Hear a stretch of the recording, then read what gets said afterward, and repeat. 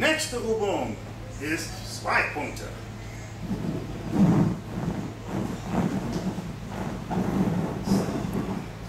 Die Sache ist die, ich helfe dir heute. Irgendwann zu Hause musst du das alleine machen. Wir machen das ganz einfach. Wir spannen an, fühlen über die Kniegelenke, sage ich mal, und die Muskulatur in den Oberschenkel. Füße bleiben weg von der Bar und das ist der Ende der Dynamik. Eine Minute lang musst du das Fernsehen gucken.